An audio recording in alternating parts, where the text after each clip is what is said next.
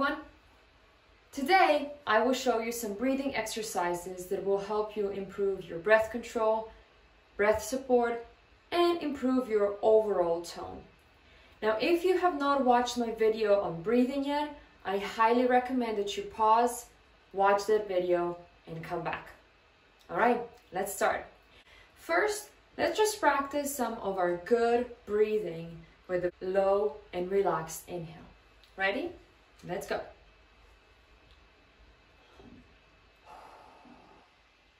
Breathe in, relax. Once again, relax. One last time.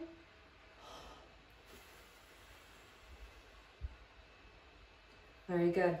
If you feel that inhaling in your relaxed tummy is still very difficult for you, I would say pause this video, take a little bit more time for it, and then return. All right, our first exercise is a little bit silly, but I do think that it helps a lot with feeling our breath a little bit more. What I'm gonna do is I'm gonna go stand against the wall. So now I'm gonna breathe the same way as we just did as we practiced our relaxed inhale and exhale, except this time I really wanna just lean against the wall with my tummy. And as I relax my tummy, I really wanna feel that push away from the wall. If this is still pretty difficult, what you can also do is lay on the floor with your back flat and try to breathe. Let's go into it. Let's do five inhales and then five exhales. Ready? And go. Relax. Three more.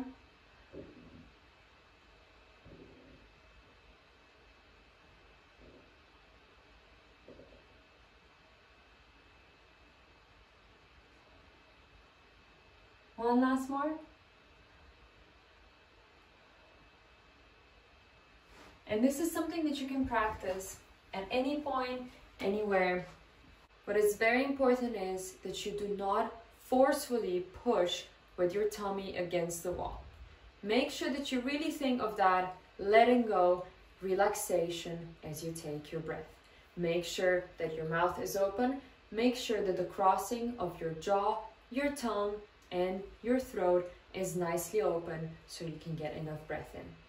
All right, let's move on to our second exercise. For this exercise, we will use some props and these props are right here.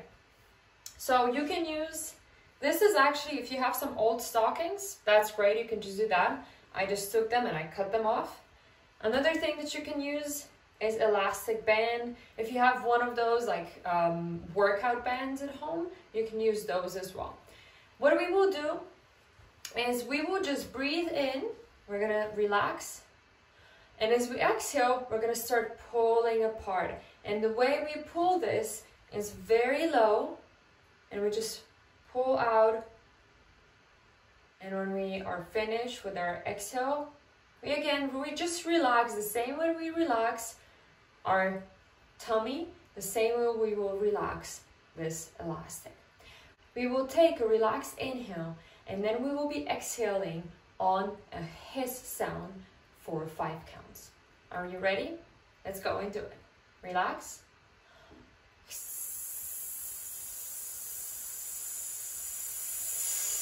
Relax.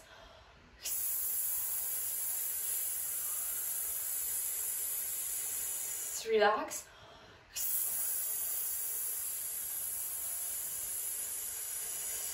Good. Now we will extend this to 10 counts. It's going it. You can kind of try and count it in your head as well. Ready? And relax.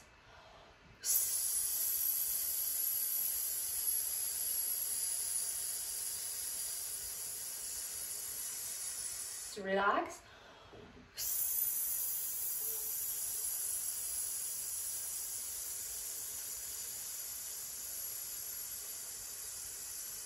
relax.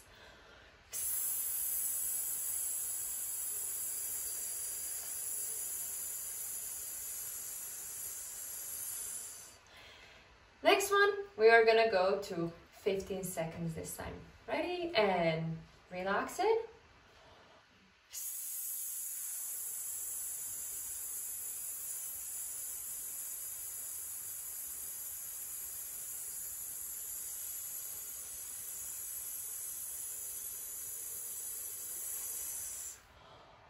And that is it. So if you want to continue doing this, you can pause the video and come back later. And you can do this, you can keep extending the time on how long you are exhaling on the hiss. You can also change to, you can change to a, to different consonants like V, F, um, uh, H is a very good one as well. So this is a very good exercise. It shows you just really where to breathe and how to really expand a lower abdomen. Now, the next exercise is going to be a similar one. We will take a quick inhale, a relaxed inhale, and then we will pulsate our breath and we will do that six times. All right? So let's relax.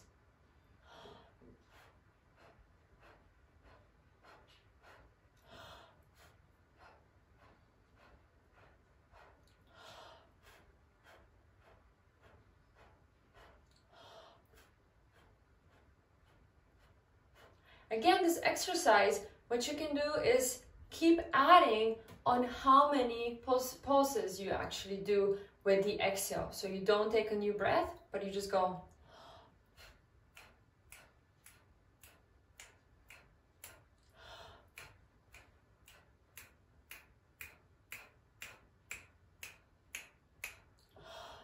so you can keep adding more and more to it. Our next exercise keeps reinforcing this area of our breathing.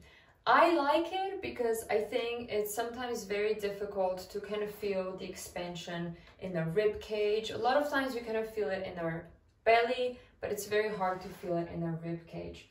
So what you can do, you'll keep thinking about your relaxed tummy, letting it go. But you will go into a forward fold. So you will lean forward and you will put your hands on your lower back. And as you're breathing, you should feel a nice expansion in your lower back. Let's try this. So we were gonna breathe in and out, do it in your own pace. You don't have to do it fast. You just want to do it right. All right, let's lean forward. And we start breathing. Remember, mouth is open your contact between your jaw, throat, and your tongue is nicely open. And just try to relax your tummy now.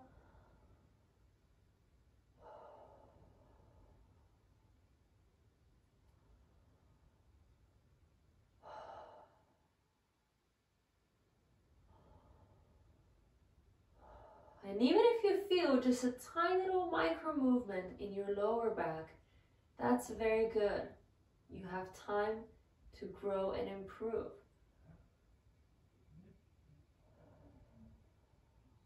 One last time.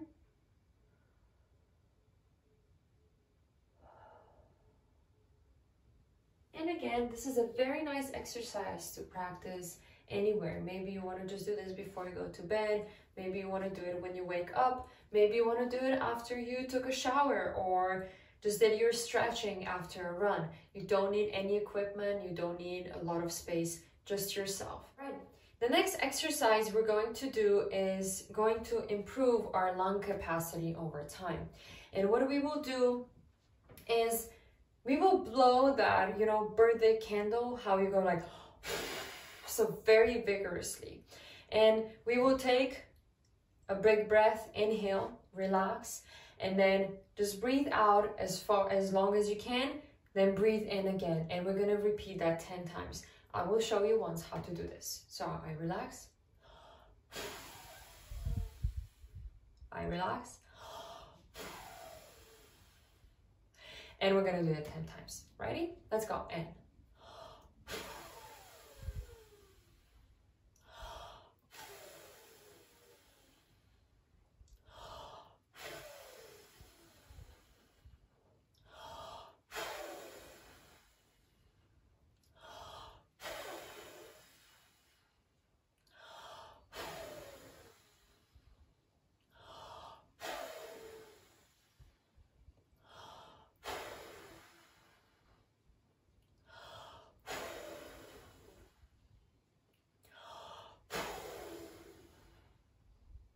Now, if you feel a little lightheaded after this, it is very normal. So please make sure that if you want to, you can do this exercise as well sitting down if you just feel like you're spinning a little bit.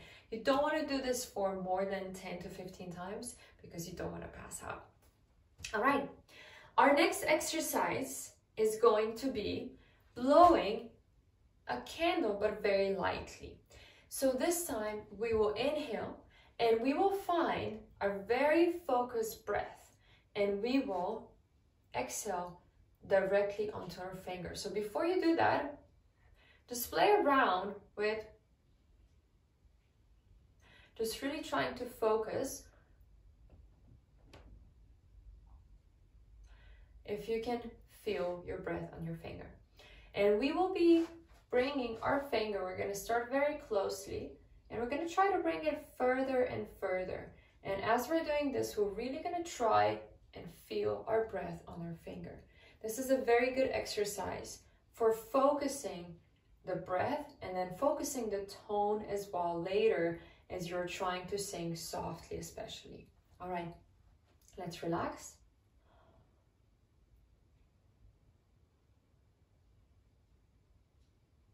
All right, relax and we're gonna bring it a little bit further.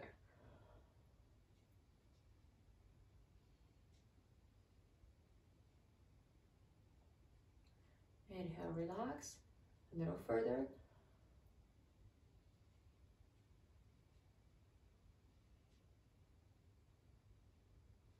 Another one.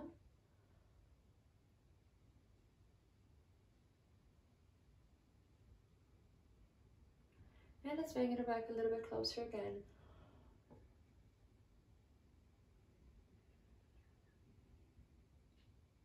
And we're going to bring it closer and this time we will count to 15. I'm going to snap for you as we're exhaling to 15. We're going to bring it about this far apart and we're going to start exhaling. Find the breath, fix your finger, and let's go. And inhale.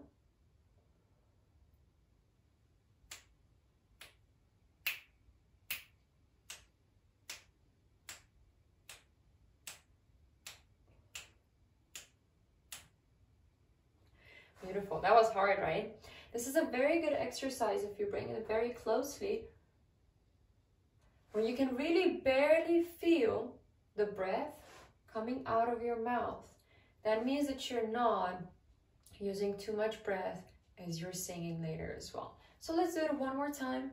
15 counts, bring it a little bit closer. Don't feel too much breath on your finger. Ready? Breathe and relax.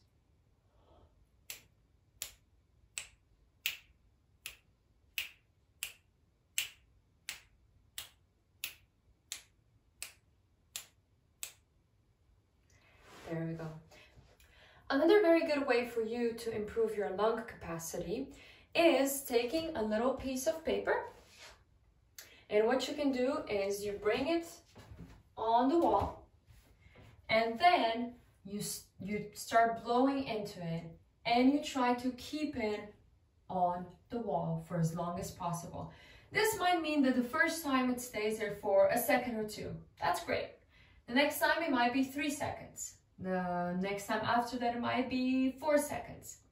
It might also just be two seconds for a while and then three seconds for a while and that's perfectly okay. So I relax, inhale, and I try to keep it up.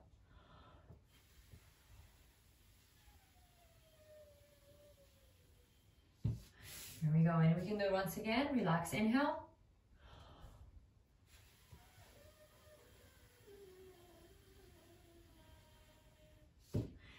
And this is a very good practice to improve your lung capacity. The last two exercises that we will do, very good to wake up your diaphragm. Diaphragm is a skeletal muscle, but it is very hard to control it the same way as we maybe control our biceps or control our abs or triceps and all those muscles that we have. So what we do for our diaphragmatic breathing and to wake up our diaphragm are a couple exercises that I will show you next. The first one that I really like for that is really just simple dog panting. When dogs are really hot or they're very excited, it's a very simple exercise. You stick your tongue out and you just go. And it might happen that you do this very slowly at first. Do it right, do it slowly rather than doing it fast and doing it wrong. Just go. Put your hands on your tummy. Feel whether you have the nice relaxation, nice expansion happening as you take your inhale. Let's go and try and do it. Let's do it very slowly first. And then you can start going faster and faster. So don't do it too fast if nothing is happening here, okay? You can do this exercise again, anytime, anywhere, anywhere. Very, very good one before you start singing. The last exercise, which is really good to wake up your diaphragm, is some hissing. What we will do is we're gonna take an inhale and then we're just gonna start pulsating our breath and we're just gonna go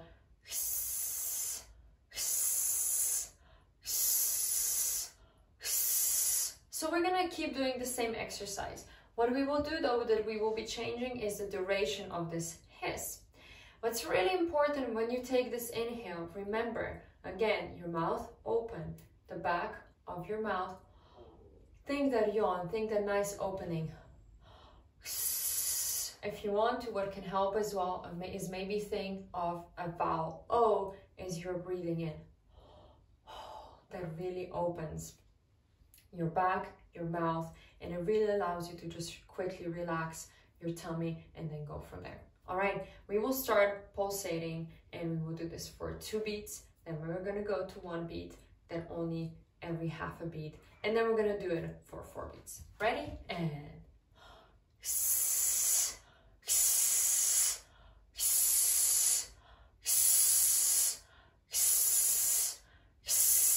And what I'll do as well, I'm gonna take my elastic band right here and I'll practice this with it. And now we're gonna go every one beat.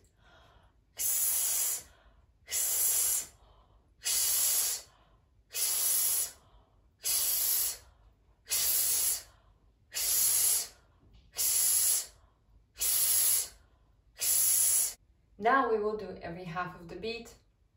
And what is really important is that we don't try to relax and take inhale for every time we hiss because it will be way too much. So we're, what we're gonna do instead is let's hiss for four times and then we take an inhale. Ready? And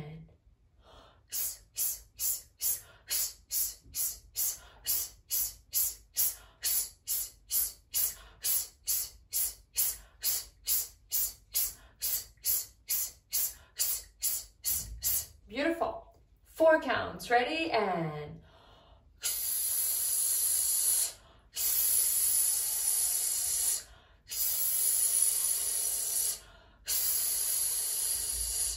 We could do this for another four counts or eight counts or 10 counts. And what you will notice is the shorter time you need to hold this, the stronger the exhale needs to be so you use your breath. I hope that you enjoyed this video and that these exercises can help you in the future to improve your breath support, breath control, and just overall tone as well. Remember, this video is always available for you on YouTube, so we can always come back and just maybe do one of the exercises or two that you found very helpful. I'd like to thank you all for watching. I'm constantly creating new content for my YouTube channel, so stay tuned. See you guys next time.